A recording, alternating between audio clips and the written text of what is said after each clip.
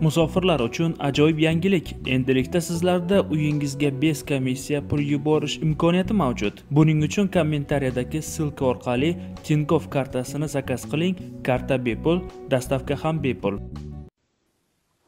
Moskvada yurgan anavi mm, isqirt oti nima edi? Otini aytishsa ham odam u usul vojib bo'ladigan darajada iflos odamlar.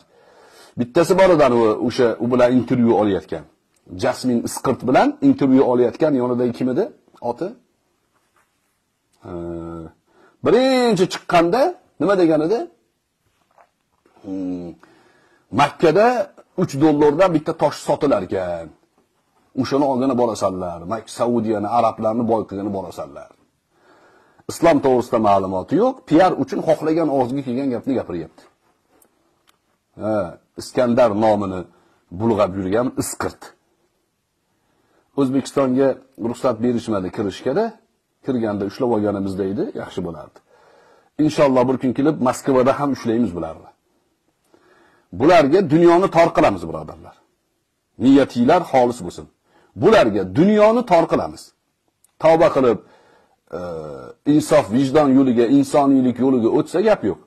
Lekin bu qilgan ishlari, bu qilgan tuhmatlari uchun albatta bular javob beradi.